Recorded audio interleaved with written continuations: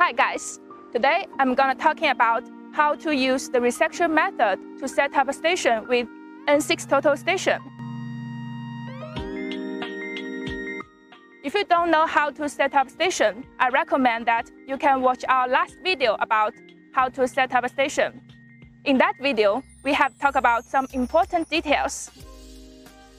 In this video, we will use N6 to do the resection when you set up the station at an arbitrary point, which you don't know the coordinates like x, y, and z, the total station doesn't know where it placed in this world.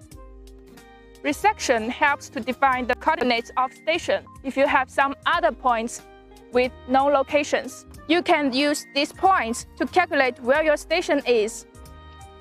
It needs at least two points with distance and three points with angles.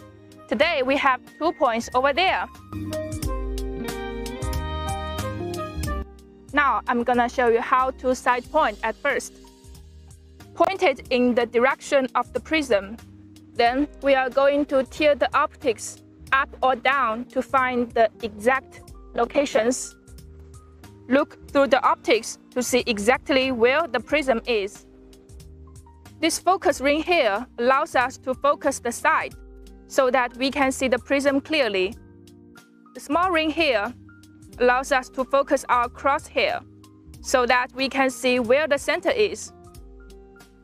Rotate the screw here to make the instrument go left or go right. To take measurement, we simply press the button here. Alright, let's go ahead to the program. Select Menu.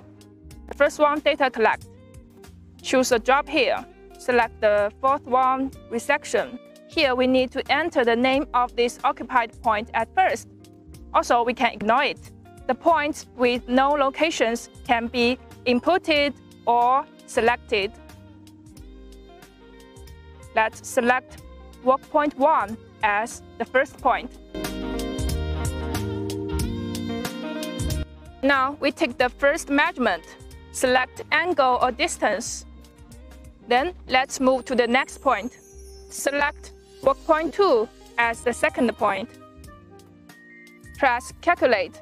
Let's have a look.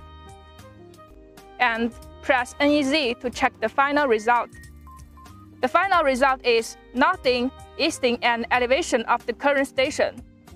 Now we can record it into the total station. If you want to get the result more reliable, you can add some of the other known points. Then we can start the measurement.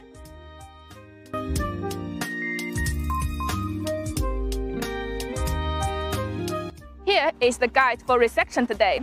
If you found this video is informative, please like this video or leave your comments below. See you next time!